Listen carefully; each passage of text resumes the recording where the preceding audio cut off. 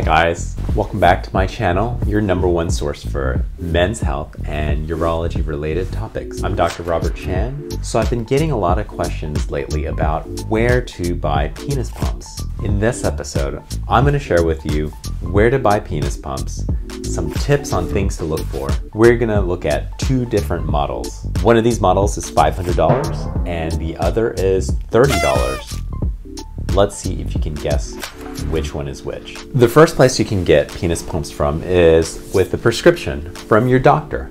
There's some pharmacies that have FDA approved penis pumps that you can get. Usually these are a little bit more expensive and can cost up to about $500. Insurance sometimes will cover it.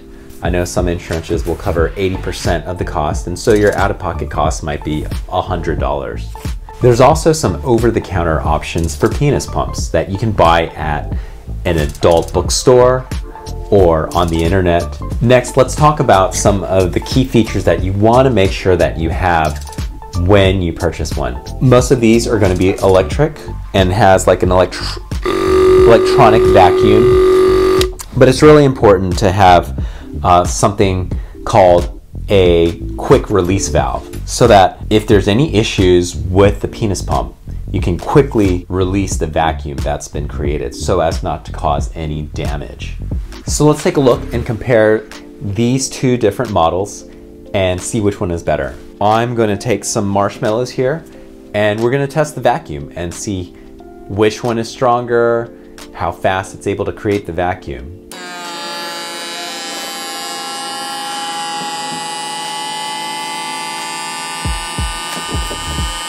And how the quick release valve for each works.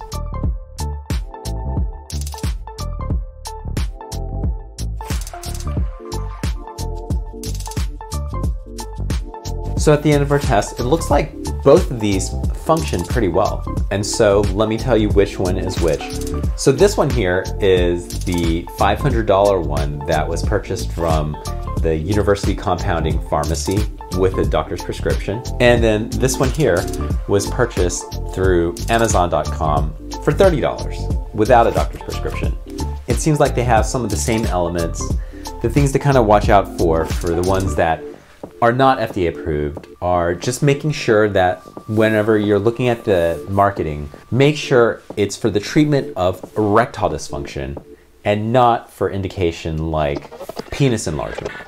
There has not been found any evidence that using a penis pump will actually lead to penile enlargement. The other distinction between something that's FDA approved versus not FDA approved is that um, these over-the-counter penis pumps um, haven't been fully evaluated. And so there's always, in theory, a chance of injury in using these. So finally, let's take a look uh, through the different components that you get with each one. First, let's look at the uh, FDA approved one that I got from University Compound Pharmacy.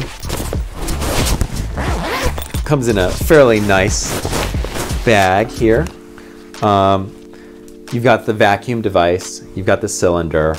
Uh, some other components are, uh, this is uh, this is something that you put around the base of it to make sure that your scrotum doesn't get sucked up into the vacuum.